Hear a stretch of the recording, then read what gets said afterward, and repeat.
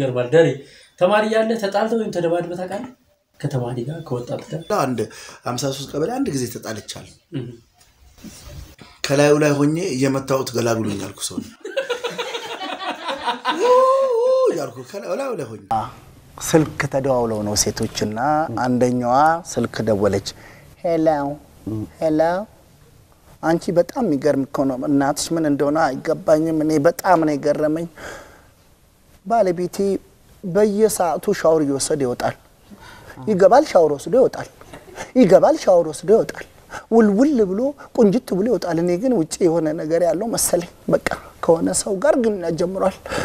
እኔ በጣም በቃ የተጠራጠርኩ ነው ምናምን ነገር አለቻት ያችኛዋ። መከራሽን ቢ እኔስ በሌላ ጊዜ ታድያለሁ። እንዴት በዘጠኝ ወር አንዴ ነው የሚታጠበው። ቤት ውስጥ ነው። በቃ ምንም ውልቅልቅ ያለ ቤት ውስጥ ነው። ያልሽውን ጉምሩክ? ታዲያ አምስት ሚሊዮን ብር ሰጠውሽ እኮ። ጭቃውን እያየ ማለት ነው። ምኑን? ንግድ ቤቱን? ቦሌ ሮድ? ተከራዩ ሁለት ሚሊዮን ብር እኮ ሁለት ሚሊዮን ብር አስገብቼልሻለሁ እኮ account ሽ ምኑን? ያ መኪናውን? ታርጋ ምናምን ወጥቶለታል እኮ። Okay። ያኛውንም እሱ አስር ሚሊዮን ነው። እሱን እሱን እኔ እሰጥሻለሁ። ባንክ እንትን አላደርገውም እኔ እሰጥሻለሁ ሲል ቀስ ብላ አይጥ ወጣችና በመርዝ አልሞት ስል በቀድ ልገለኝ ነው። ሀብቴ እንዳለ በስራ አጋጣሚ የተለያዩ ቦታዎች እንሄዳለን፣ የተለያዩ ነገሮችን እናደርጋለን። አንዳንድ ጊዜ ደግሞ ለስራ የሚያግዙንን ነገሮች ዝም ብለን እናያለን። ያው ከህብረተሰቡ ጋር አብረን ስላለን ብዙ ነገሮችን እናያለን። አንድ ጊዜ ሱፐር ማርኬት ውስጥ ገባን። የሚገዛ ነገር ፈልገን አይደለም፣ ግን አንዳንድ ነገር ማየት ደስ ይለናል፣ ወይ እዛ የሚሰራ ነገርም ሊኖር ይችላል በሚል ውስጥ ገብተን ሱፐር ማርኬት ውስጥ እቃዎችን እያየን ነው፣ የሚሸጡ ነገሮችን እየጎበኘን ነው። በቃ ውስጥ በደንብ ገብተናል።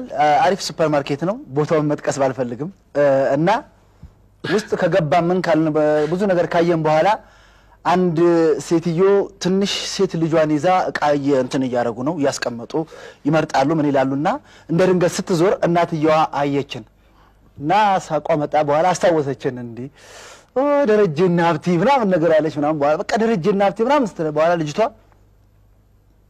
ምንድን ነው አለች። ደረጀና ሀብቲ ያቸው ምናምን ብላ እንደዚህ አስተካክላ አምጥታ እንደዚህ ያሳይቻል ልጅቷ ማየች ኦ ደረጀና ደረጀና ሀብቲ አለች ቀደስ ብላ አለችና አለች ከኢትዮጵያ ውጭ የሴት ሀገር ሄዳል? ያልሄድኩበትን ልንገር እውነት እንጂ አፍሪካ ሀገራት፣ አውሮፓ፣ አሜሪካ ዞረዋል። በህልሜ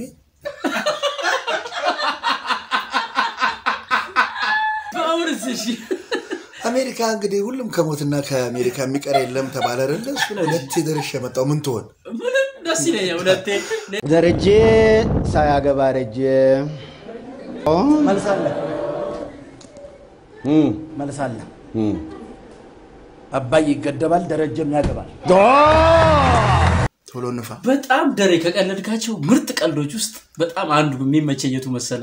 ባለስልጣኖችና አርቲስቶች ኳስ የተጫወታችሁ ጊዜ ነው እሱ corner corner ተገኝቶ ልንሻማ እኛ ላይ ባለስልጣኖችና አርቲስቶች ማለት ነው። እኛ ላይ corner ተገኝቶ የማዕዘን ምት ልንሻማ እንዲህ ብለን ምናምን ነገር ሊመታ ሸዋፈራው። እንደዚህ ብሎ አጋጣሚ እንዲህ ሲዞር ጋሽ አባዱላ ናቸው። ውይ ከለልኮት ልሁን ዝቅ ልበል ልተኛ ባልሻማስ?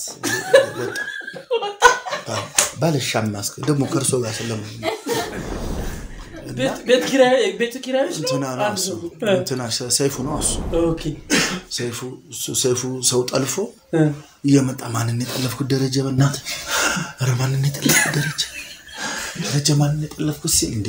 አትያዘኝ እኔ አንድ ቡድን እኮ ነን ደረጀ። ማንን የጠለፍኩት? ማንን የጠለፍኩት? ወይኔ እኔም ብሎ ሰይፉ ወይኔ ወይኔ የሳቅ በሳቅ ዝግጅታችሁ ላይ አንድ ጊዜ ባለፈው አመት ነው መሰለኝ፣ እኔ እንኳን እዚህ አልነበርኩም። ከፍተኛ የሆነ ዝግጅት አዘጋጅታችሁ ነበር እና እዛ ላይ ሽልማቶች አዘጋጅታችሁ በተለይ የሙያ ጓደኞቻችሁን ኮሜዲያኖችን ሸልማችኋል። ይህን እንዴት አሰባችሁት? እኔ በዛን ወቅት ብኖር ኖሮ ደግሞ ለእኔስ ምን ትሸልሙ ነበር? Surprise የምንለው ነገር አለ። የተሸፈነ ሽልማት ነው። ሽልማቱ አንድ ሰው አንድ እዛ ላይ የነበሩት ኮሜዲያን ምን እንደሚሸለሙ አያውቅም፣ ግን ሽልማቱ ጥሩ እንደሆነ እቃው ምናምን ነገር በጣም ያስጎመጃል። ስጦታው ወረቀት ራሱ በጣም ውድ ነው። በመጀመሪያ ክበበው ነው የተሸለመው። ክበበው ገልጦ ሲያሳይ የድርጅቱ አለ ድርጅት ስፖንሰር ያደረገን ቲሸርት ነው። በጣም ደስ የሚል ቲሸርት ነው። ከዛ በኋላ ያሉት ኮሜዲያኖች በሙሉ ለሽልማቱ ጓጉተዋል። ቀጥሎ የነበረው ተስፋዬ ነው። እቃውን መግለጥ ጀመረ እና ልክ እዛ መድረክ ላይ ሲታይ ነገሩ በጣም ያስቃል። በእለቱ የሳቅ ቀን ነው። audience ኡ ብቻ ሳይሆን ኮሜዲያኖችም ላይ ማሳቅ አለብን የሚል ነው። ተስፋዬ ካሳ መግለጥ ጀመረ፣ ገለጠ። መጀመሪያ የምሳ እቃ መስሎታል። አሁንም ገለጠ። እኛ ሁለታችን እናወራለን። እንግዲህ ተስፋዬ ልጆች አሉት። እንግዲህ ለልጆቹ ለምሳ እቃ በጣም ይጠቅማል እያለን ነው። አሁንም ገለጠ። ሌላ መጠቅለያ ያለው መጨረሻ ላይ ሲገልጥ ፖፖና ውስጡ ሶፍትን ያስቀመጥንለት ፖፖ አነስተኛ ፖፖ ነበረች። size ኡን ያው በሱ size ነው። እሺ ለተስፋዬ ይህን ፖፖ ለምን እንደሸለም ነው ደረጀ ነገር እስቲ ለተስፋዬ ልንሸልመው የቻልነው ያው ብዙም ጊዜ ለስራ ስንፈልገው ስንደውልለት አሁን የለም ሽንት ቤት ነው ይሉናል። ስንደውል ሽንት ቤት ነው ይሉናል። ስለዚህ እዛው ቁጭ ብሎ እንድናገኘው ስለፈለግን ነው የሸለምነው። ከዛ በኋላ ይሄን ፖፖ ስም አወጣንለት። ሞባይል ፖፖ አለ።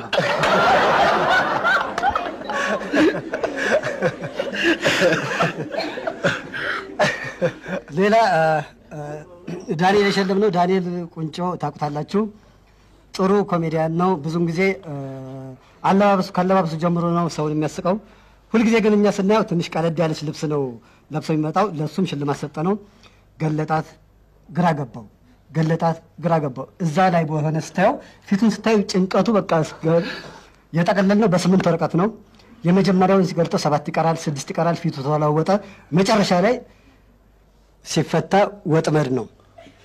ለምንድን ነው የሸለምነው ይህንን? እንግዲህ ሱሪውም ሸሚዙም ምንም ማንኛውም ነገሩ የተቀዳደደ ነው እና ቤት ውስጥ አይጥ ቢያስቸግረ ነው ብለን ይህን ሸ ከዛ ወዲህ ግን አሁን ደህና ይለብሳል። አሁን በቅርብ አይታችሁታል። አዎ፣ ከዛ ወዲህ ምንም የተቀደደ ነገር የለም። አዎ፣ ጋዜጣ እንኳን የተቀደደ